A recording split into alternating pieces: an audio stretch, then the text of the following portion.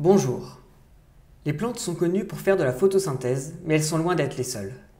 Dans cette série de vidéos, je vous propose de découvrir la diversité de la photosynthèse et son évolution. Dans cette première vidéo, je vais vous présenter le fonctionnement de la photosynthèse, mais d'abord quelques définitions.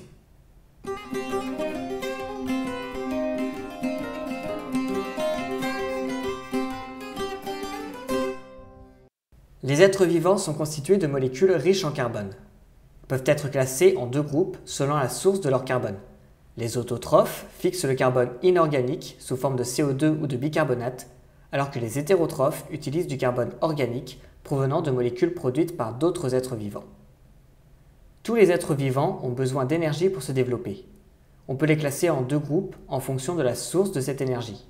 Les chimiotrophes récupèrent l'énergie de molécules, alors que les phototrophes récupèrent l'énergie de la lumière.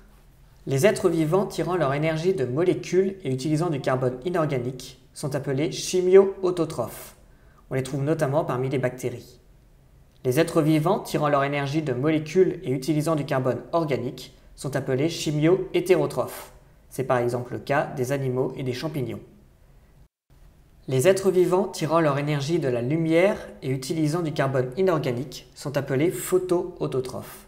C'est par exemple le cas des plantes et de certaines bactéries. Les êtres vivants tirant leur énergie de la lumière et utilisant du carbone organique sont appelés photohétérotrophes. On les trouve notamment parmi les bactéries. Parmi les phototrophes, certains récupèrent l'énergie de la lumière grâce à un pigment appelé rétinal. On les appelle rétinalophototrophes. Tous les organismes connus sont hétérotrophes. C'est le même pigment qui absorbe la lumière dans nos yeux et nous permet de voir. Parmi les phototrophes, certains récupèrent l'énergie de la lumière grâce à un pigment chlorophylle ou bactériochlorophylle. On les appelle chlorophototrophes. Certains sont autotrophes et d'autres hétérotrophes. Il existe plusieurs définitions de la photosynthèse. Elle peut être synonyme de la phototrophie, regroupant à la fois la rétinalophototrophie et la chlorophototrophie.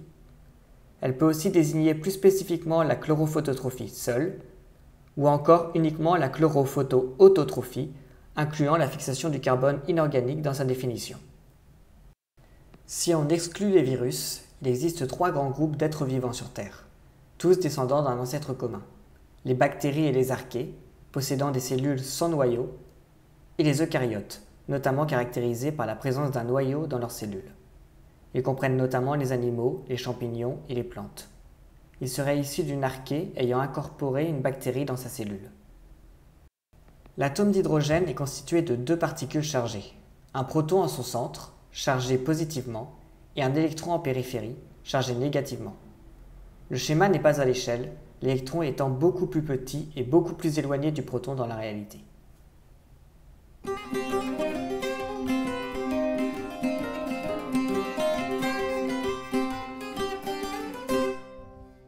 Les bactéries et les archées possèdent des cellules délimitées par une membrane lipidique. L'intérieur de la cellule est appelé cytoplasme et contient l'ADN. Les cellules sont souvent entourées d'une paroi rigide qui les protège. La photosynthèse se déroule autour de la membrane. La rétinalophototrophie fonctionne grâce à une protéine membranaire appelée rhodopsine. Cette protéine contient un pigment caroténoïde appelé rétinal. L'ATP synthase est un complexe protéique membranaire important pour la photosynthèse. La rétinalophototrophie implique des protons répartis de chaque côté de la membrane. Ils ne sont pas à l'échelle sur le schéma. L'énergie de la lumière peut être stockée grâce à une molécule d'ADP composée d'une molécule d'adénosine liée à deux phosphates et d'un phosphate libre. Dans la rétinalophototrophie, le rétinal absorbe la lumière ce qui entraîne le passage d'un proton du cytoplasme à l'autre côté de la membrane par la rhodopsine. L'équilibre des protons de part et d'autre de la membrane est perturbé par ce passage, ce qui entraîne le retour d'un proton vers le cytoplasme par l'ATP synthase. Ce passage de protons entraîne la fixation d'un phosphate libre à l'ADP au niveau de l'ATP synthase.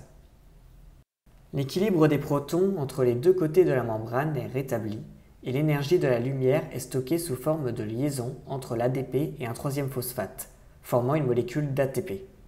L'ATP est ensuite utilisée comme source d'énergie pour les différents processus biologiques.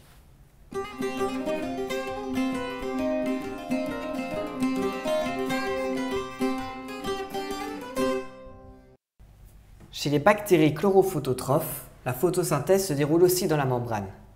Parfois dans une membrane à l'intérieur des cellules, comme celle délimitant les chromatophores des bactéries pourpres ou les thylakoïdes des cyanobactéries.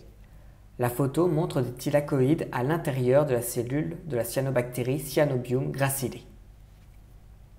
Le centre réactionnel joue un rôle central dans la chlorophototrophie.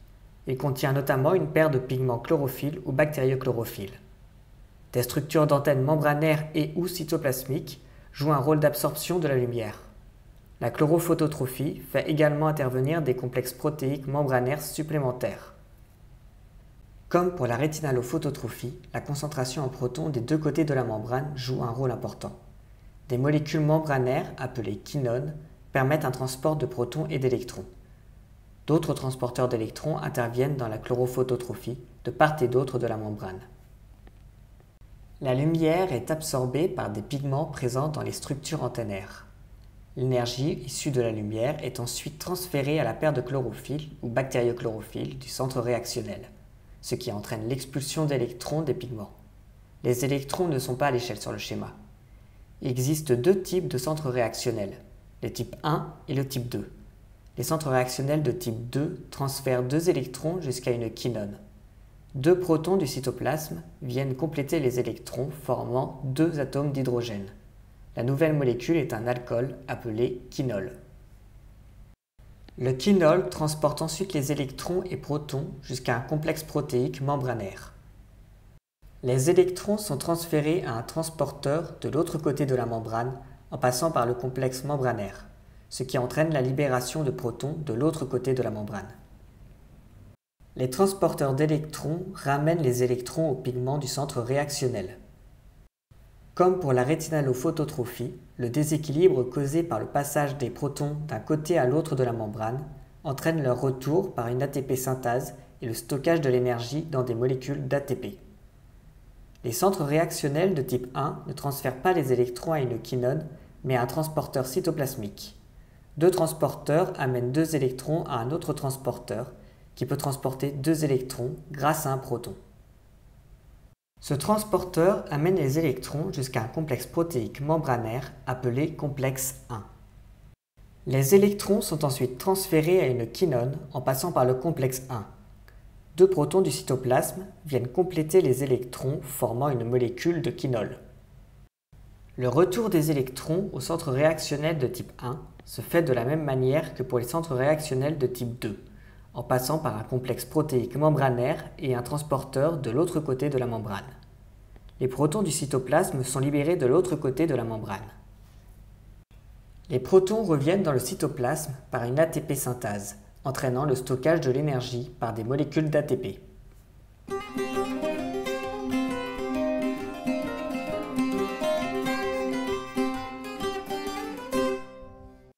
Dans cette vidéo, nous avons vu qu'il existe plusieurs définitions de la photosynthèse, pouvant englober la rétinalophototrophie, caractérisée par l'absorption de la lumière par un pigment rétinal, et la chlorophototrophie, caractérisée par l'absorption de la lumière par un pigment chlorophylle ou bactériochlorophylle.